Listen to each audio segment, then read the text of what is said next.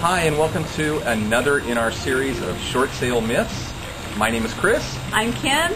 and today what we're going to bring to you is actually probably the primary primary thing you need to consider when you are uh, thinking about a short sale on your real estate property.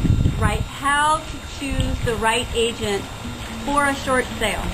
Actually, this is probably the most important thing of all. Right. You need to consider.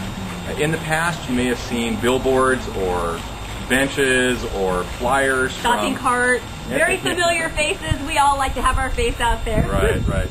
Uh, but now, what you really have to consider is you have to go past who's the most popular in your area. Right. And you really have to go with the individual who is the most educated and experienced on short sales. Experience means a lot right now. I mean, it, it means more than anything. We we work with wonderful agents and have for several years.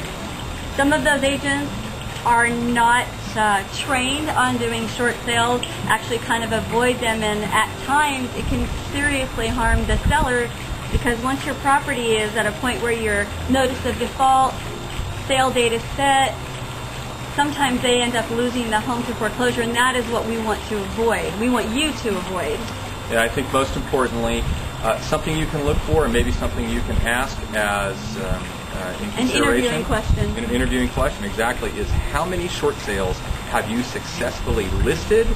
And the key importance here is listed and completed. Completed is key successfully, right? And you know, how long did the process take? You, through our experience, I would say a minimum of three success, successful short sale listings that have followed through to successful purchases is key. Right, and your home should not be listed for six months. I mean, a successful short sale, you should have an offer in the first 30 days, or your agent is not doing the right job. Right. Uh, again, can't emphasize enough what Kim just said. You should have an offer on your property if you have the right agent doing it. You should Right. have an offer within the first 30 days of a short sale listing. Exactly, because the bank is who's going to decide on what price is given. The key thing is get offers to the bank. Right. Again, uh, this is so important, but make sure you choose the right short sale real estate executive who has been trained in short sales. Right. This is just one of those times where you have to put aside um, the reputation of what we're all used to seeing from people. Here, really, knowledge is going to count for everything. So, interview, interview, interview, and ask the right questions. Hope that helps. Exactly. Uh, if you have any more questions about short sales and or any uh, real estate questions at all, please feel free to call us. We're with Platinum Real Estate here in sunny Southern California. Right. Again, my name is Kris.